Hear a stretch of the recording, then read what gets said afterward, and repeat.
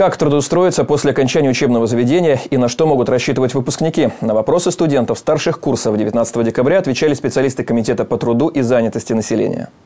Как реализовать свой творческий потенциал и применить теоретические знания на практике? И что необходимо сделать сразу после получения диплома о высшем образовании? Эти вопросы начинают волновать студентов задолго до выпуска. ВУЗ организует и различные профориентационные курсы, которые существуют для студентов. Создается центр, а, который помогает им в дальнейшем определиться и с выбором профессии. Область много делает сейчас для этого. И у нас открываются новые предприятия, где могут студенты потом в дальнейшем работать.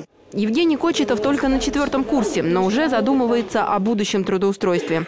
На мероприятии узнал много информации, которая пригодится ему в поисках работы по профессии.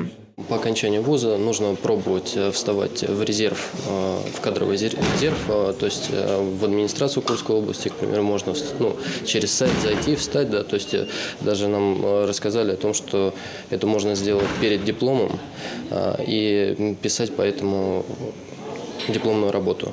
Высшее образование – это инвестиции в будущее. И государство молодых специалистов поддерживает. Широкий спектр действующих целевых программ направлен на сокращение количества безработных. За два года, когда у нас была стажировка, она себя хорошо проявила, зарекомендовали вот эти мероприятия, пользовались успехом.